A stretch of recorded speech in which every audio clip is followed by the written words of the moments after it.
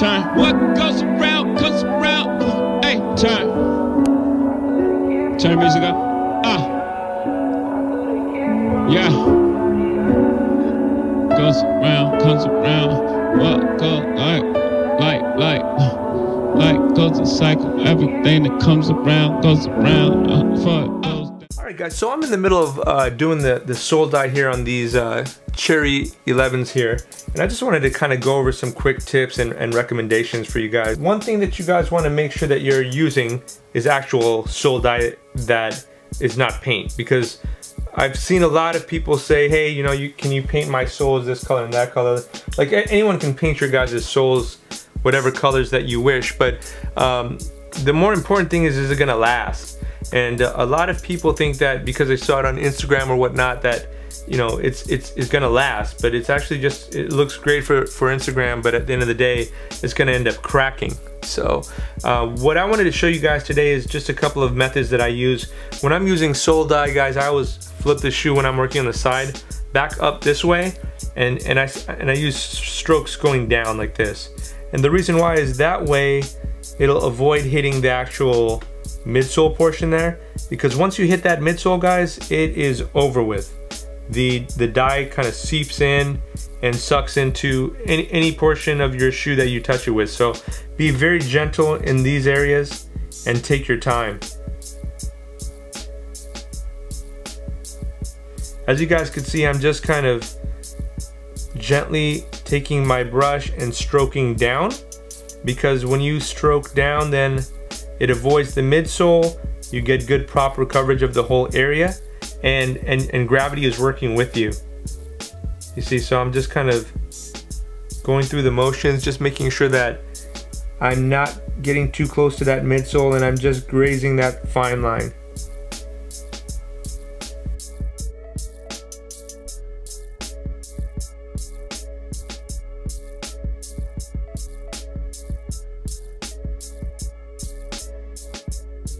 Definitely do not want to touch the sole dye because I've done that before and then all of a sudden now I'm touching the top of my shoe and I've got fingerprints all over my shoes. And that's not a very uh, productive way to, to probably do your, your customs. So I, I, I would recommend um, waiting till, till the end when you guys are almost done with your custom to do your, your sole dyeing stuff.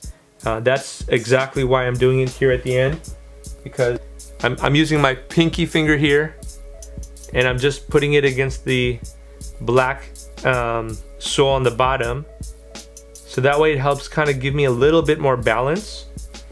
Even putting the shoe down here helps a lot because then you can adjust and make sure you're not hitting portions where you shouldn't be hitting.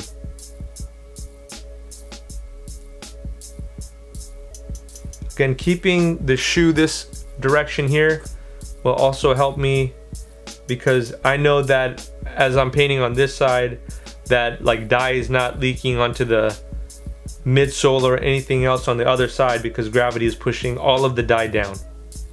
So that's important guys. Keep the shoe placed low until you know that you need to work on a uh, another area then readjust.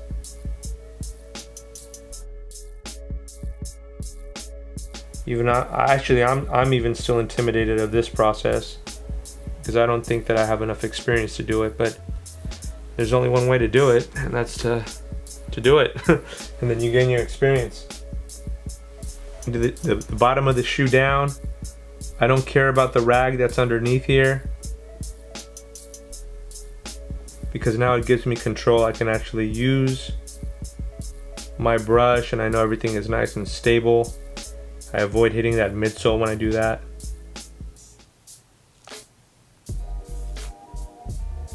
And I'm just trying to spread nice, light, even coats. That's your, your main purpose of this, guys. Nice, light, even coats. Don't worry about getting a... This is your first round in, guys. Your first layer. Don't worry about getting too close to that edge. Try to get as close as possible without really trying to get into the, that end portion.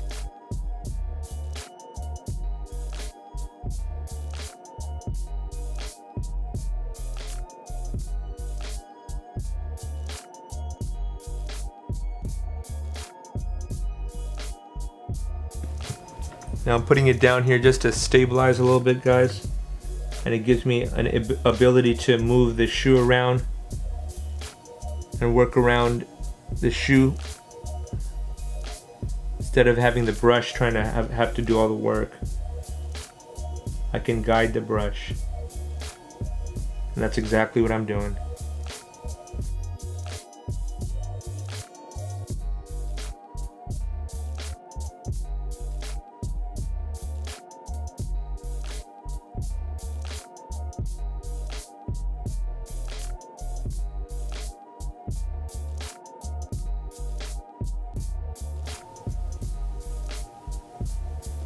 By the way guys, sole dyes can be very tricky because they'll, they'll look like one color like right here. They look almost, I want to say like a light purple, but as as this sole dye starts to dry, then you start to see the red Im immerse from it. So um, don't don't take uh, this for the final product yet, guys. We've got we've got quite a ways to go until it actually dries, settles out, and I'll show you if there's any residue afterwards, how to clean that off, and, and then we'll have a finished product, guys. Um, I think that the first time I did this, I, I was freaking out because I was like, dude, this is not the right color. And then I just kept going through with it anyways, and I noticed that as time passed by, it started to brighten up and look like the same red as uh, the, the uh, that you guys see on the Breds, the Bred 11s almost the exact same tone. So it, it became a nice, like a cherry colored red. And so I was, I was happy because I had no idea why or how I messed up, but it just, it just naturally kind of came about. So.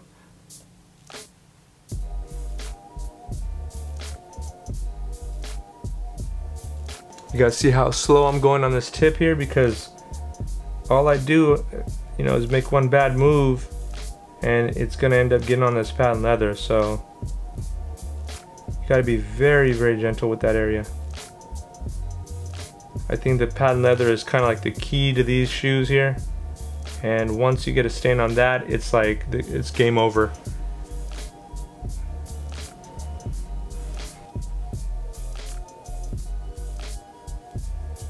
you guys can see I'm just doing like a back and forth motion right here and all I'm doing is just making sure that all the the dye is dispersed. The main goal guys is again you just want to glaze the dye on the top. You don't want it to be too heavy. You just want it to be enough where you can see that the dye is actually penetrating into the, the plastic portion or the icy portion of this Legend Blue. As I'm layering it with more of the dye, I can start to see that the color is coming in crisper and crisper and I'm, I'm getting now that cherry red that's starting to form. It's becoming more of a fuller color. Okay, as you guys can see that the sides are still a little glossy. That means that they're still drying. Over here, and I just caught it right now, is a perfect example of something that's been saturated a little too much and it was just about to catch on my on my midsole here so that's why I tell you guys, that's what's gonna end up happening is that the the dye is so thin that what it ends up doing is it slowly starts to creep up if you have your shoe backwards. So that's why I'm just making sure again that you check the sides, you're brushing them down. You, you, check the sides, you brush it down, check the side, brush it down, and that way you assure that you're not gonna get that, that over excessive dye all over your midsole and have a lot of extra work to do. So again, I'm just going through making sure that spots are touched up. If I see that there's a little less dye in spots that need to be a little bit more saturated, then I'm gonna go ahead and drop them on. If I see spots that look blotchy now, I'm starting to go back in, grab a little bit more dye, fill that in.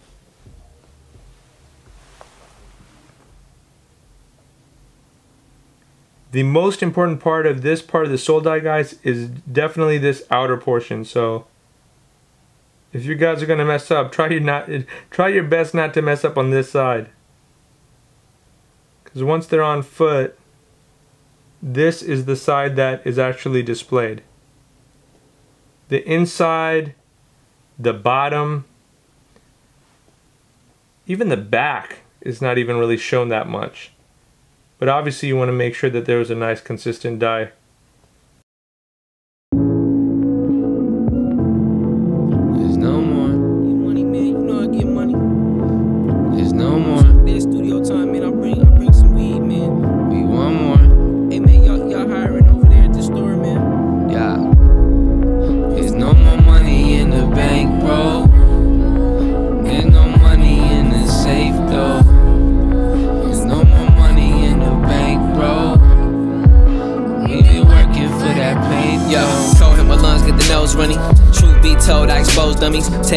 Scare money froze money. And the money make the honey's moist toes numbing. Fight or flight right, but I never chose running. Play the art of flight board with the snow bunnies. If you my homie, I'ma let you hold something. Peace to the kids, learn to grow sunny. Days far away, no shade, bro. Shark tanks full of great white makos. I don't blow dough, need to save those. You was freezing to death, would you stay cold? With a can full of gas and a handful of matches. And a cash stack you could turn into ashes.